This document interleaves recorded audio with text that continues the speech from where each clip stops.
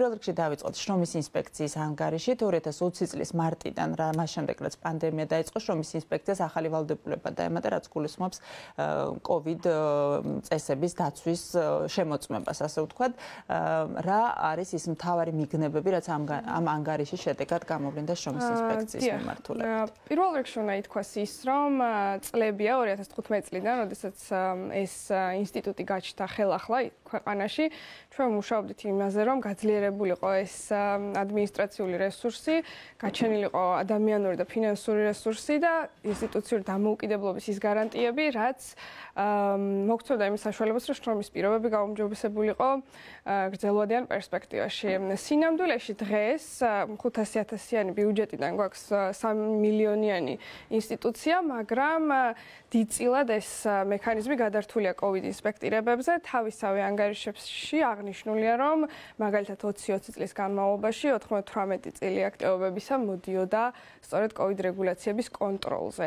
ასეთივე სტატისტიკა, ასე ვთქვათ, მძიმე 2021 წლის პირველი კვარტლის, იმიტომ რომ განხორციელებულია 12000 აქტივობა და აქაც ძალიან დიდი წილი მოდის COVID-ზე. წელი არ შეჯამებულა 2021 დაველოდოთ შედეგებს, მაგრამ აქ ყველაზე საინტერესო ის არის, რომ 2021 წლიდან ეს ინსპექცია აღჭურვილია შრომის უფლებების მთელი სპექტრის შემოწმების მანდატით, არა მხოლოდ შრომის უსაფრთხოების და აქაც ჩვენი მონაცემით აგვისტოს თვემდე მხოლოდ 53 ინსპექტირება იყო განხორციელებული ამ უფლებების შესამოწმებლად და არანაირი ჯარიმა არ იყო დაკისრებული, ეს იყო მხოლოდ გაფრთხილებები სიტყვაზე და უსაფრთხოების ნაწილში კი თავად ინსპექციის თქმით დაახლოებით 700-მდე ინსპექტირებაა წლის განმავლობაში შესრულებული, მაგრამ დაველოდოთ საბოლოო შედეგებს, ასე ვთქვათ, თვითონ რა მონაცემსაც გამოაქვეყნებენ. აქამდე რაც შემოწმდა, რა ტიპის დარღვევები არის უფრო ხშირად გამოვლენილი?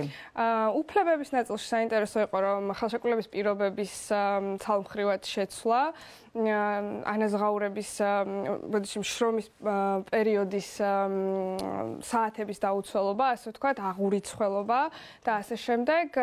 უსაფრთხოების ნაწილში ეს სტატისტიკა განსხვავებულად იწარმოება და იქ რაღაც უსაფრთხოების პოლიტიკის დოკუმენტის არარსებობა სიტყვაზე იყო ყველაზე ხშირი დარღვევა, რაც არის აღმოჩენილი, მაგრამ სხვილ აქცენტებს გავაკეთებ იმაზე, რომ შრომის უსაფრთხოების ნაწილში ყველაზე საშიში მავნე პირობების მქონე დარგები, ასე ვთქვათ, მოპოვება და აქ ყველაზე ცოტა ინსპექტირებაა ჩატარებული 20-20 წლის ანგარიშის მიხედვით და სამწუხაროდ ყველაზე ცოტა ჯარიმების რაოდენობაც 3000 ლარამდეა ჯამში მოპოვების სექტორში დაკისრებული ჯარიმების ოდენობა ჯამში სულ რაღაც 9 ინსპექტირება მოპოვების სექტორში და ამ დროს მშენებლობაზეა ყველაზე აი ესეთი ყველაზე დიდი დარგი რა სადაც მიმართულია ინსპექციის რესურსი ეს არის მშენებლობებზე უსაფრთხოების დაცვა რაც ასევე 75% იყო სამშობლო სექტორზე. რა არის ამის მიზეზი რომ ამ ხელა პროცენტი ერთის ხრივ ის რომ რა თქმა უნდა ესეთ საშიშ პირობებში მუშაობას გულისხმობს მაგრამ მეორე ხრივ ჩვენითიც ვეცადეთ ამის ახსნას იყო ის რომ ტექნიკური რეგლამენტები ასე ვთქვათ რა რეგლამენტებს უნდა შემოწმდეს ეს დასაქმების ადგილები გვაქვს მხოლოდ გარკვეულ დარგებში და სამშობლო სექტორი ალბათ ეს ისეთი დარგია სადაც ჯერ კიდევ არსებობს ტექნიკური რეგლამენტები. მოპოვებაზეც ვერ ვიტყვით რომ ნაკლებია რეგლამენტი მაგრამ ბევრ სხვა სფეროზე ამიტომაც ვერ ივრცობა ინსპექციის მუშაობა დიდი ალბათობით რომ ტექნიკური რეგლამენტების თარგმნა, ადაპტირება, მიღება, გვიანდება, ჭიანურდება. ასევე ჯარიმის ოდენობაზეც მინდა გკითხოთ სამშენებლოზე მოდის ჯარიმის ოდენობაც ყველაზე მეტი სულ რა ოდენობის ჯარიმა გამოიწერდა როგორ შეაფასეთ ამ თანხას? სულ ჯამურად 20 წლის ჯამური ოდენობა იყო 193.000 ლარის ჯარიმა ყველა ობიექტზე. ჯამურად რაღაც 90000 მოდიოდა სამშენებლო სექტორზე 3000 კიდევ ერთხელ გამიმეორებ მხოლოდ მოპოვებაზე. აქ საინტერესოა რომ ეს არის ძალიან მსხვილი კორპორაციები ძალიან მსხვილი კომპანიები რომელთათვისაც შეიძლება ეს ოძინებები კიდევ არც მნიშვნელობდეს მაგრამ როგორც ინსპექციის სამსახურის საქმიანობას თუ შევაფასებთ აქ საინტერესოა რამდენად თანმიმდევრულია და რამდენად სწორია ეს ასიმეტრია, ასე ვთქვათ, სექტორებს შორის და რამდენად რეაგირებს უბრალოდ კონტექსტზე და რეალობაზე ინსპექცია ადეკვატურად. და მეორე კვლევაც მინდა რომ განვიხილოთ არაფორმალური და არასტანდარტული დასაქმება საქართველოში. გამოწვევები და სარეფორმო ხედვა რა გამოვლინდა მაგაში. აქ ძალიან მნიშვნელოვანია ის რომ საქართველოში არაფორმალური მშრომელები სოფლის მეურნეობის მიღმა ჩვენ კლავაც ყავს ძალიან ბევრი 33-32%-ია. რომ გამარტოთ არაფორმალური არაფორმალურად დასაქმება ნიშნავს, როდესაც შრომითი ურთიერთობა არ დგინდება, ასე ვთქვათ, მხარეებს შორის ხელშეკრულების გარეშე, ერთ თვეზე მეთხანს, ასე ვთქვათ, თუ არის ეპირი შეთანხმების ხელში, ასე ვთქვათ, ეს ურთიერთობა. და ესეთი წილი არის 32%, ასე ვთქვათ.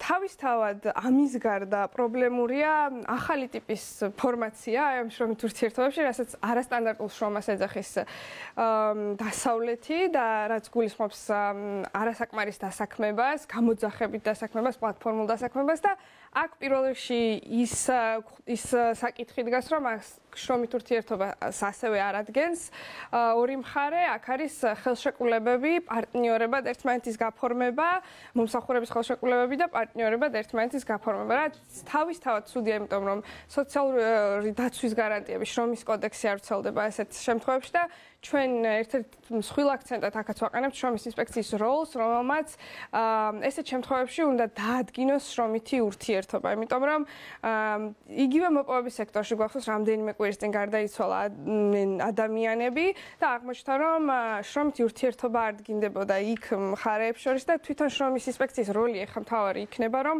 დადგინდეს შრომითი ურთიერთობა და ამითი ასე ვთქვათ ფორმალიზების რაღაც მექანიზმი გაგვაჩნდეს.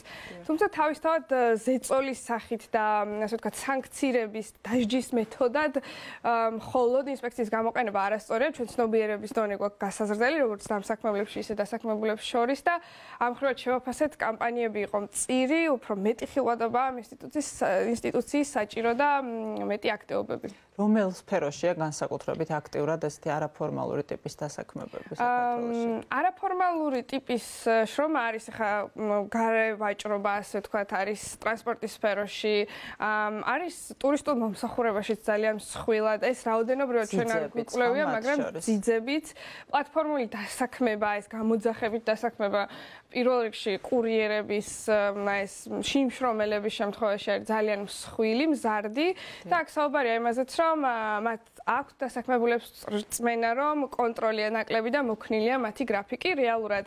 ისინი არიან, ისინი კონტროლდებიან და მათ სამხრივად უცლიან შრომის პირობებს, მათ ალგორითმი უცვლის ამ პირობებს, რაც ეს რო შრომითი ურთიერთობა იყოს დარღვევა იქნებოდა. რეალურად მათი ანაზღაურება არის რთული განსასაზღვრი. კოდექსი ადგენს, რომ ერთი თვის თავზე მაინც თვეში ერთხელ მაინც უნდა იყოს აიღოს დასაქმებულმა ანაზღაურება და ასეთ შემთხვევებში გამოძახებისას მუშაობისას შეიძლება თვის ანაზღაურებაც არ ქონდეს და ეს თავარია სოციალური დაცვა, ხომ? ამ ადამიანებს შვებულებით არ შეუძლიათ სარგებლობა, დეკრეტულს და სხვა სოციალურ დაცვაზე რომ აღარ ვისაუბროთ. დიახ, შემთხვევაში შეიძლება კომპანიები ასეთ შეთანხმებებს არ უშვებენ, როდესაც ვსაუბრობთ პლატფორმულ დასაქმებაზე.